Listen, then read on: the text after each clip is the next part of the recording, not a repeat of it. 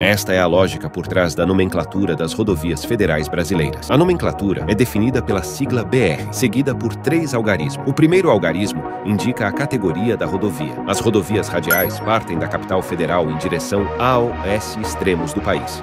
O primeiro algarismo é o zero, e a numeração pode variar de 05 a 95, segundo a razão numérica 05 e no sentido horário. As longitudinais são as que cortam o país na direção norte-sul.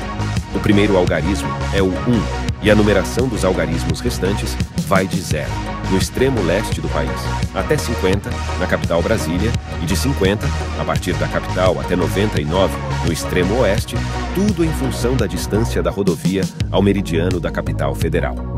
As transversais cortam o país na direção leste-oeste.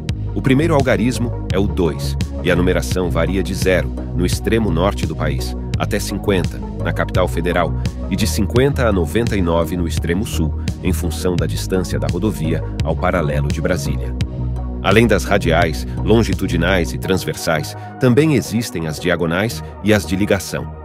Acesse o site do DENIT para conhecer com detalhes como funcionam as nomenclaturas.